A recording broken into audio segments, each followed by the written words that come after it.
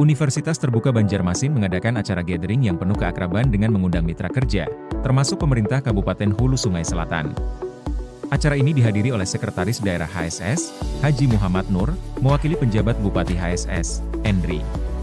Selain itu, Rektor Universitas Terbuka, Profesor Dr. Andus Ojat Darojat, turut hadir langsung dari Jakarta.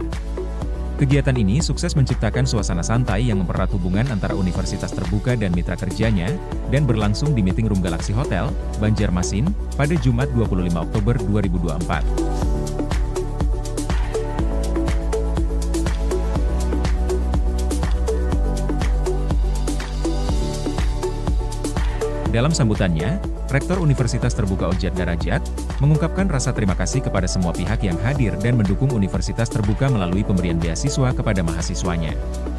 Ia menekankan bahwa Universitas Terbuka, sebagai perguruan tinggi dengan sistem pembelajaran jarak jauh, kini menjadi favorit di kalangan milenial. Sang rektor juga menceritakan sejarah perjalanan Universitas Terbuka dan prestasi yang diraih oleh lulusannya.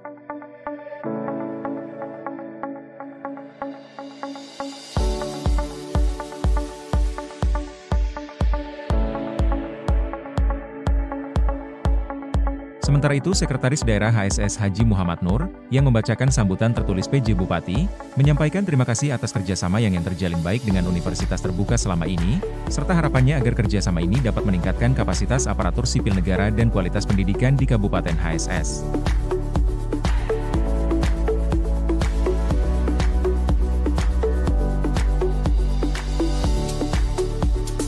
Acara ini juga dihadiri beberapa daerah lainnya yang juga turut diundang pada gathering ini, seperti Kabupaten Tanah Laut, Barito Kuala, Balangan, serta mitra kerja universitas terbuka dari pihak swasta seperti PT Arutmin Indonesia, PT Baramarta Mining, PT Antan Gunung Meratus, dan beberapa perusahaan lainnya. Dalam kesempatan ini kepada para mitra kerja diserahkan bingkisan cindera mata dari pihak universitas terbuka. Turut hadir dalam kegiatan ini Direktur Universitas Terbuka Banjarmasin Insinyur Muhammad Priyono beserta jajaran.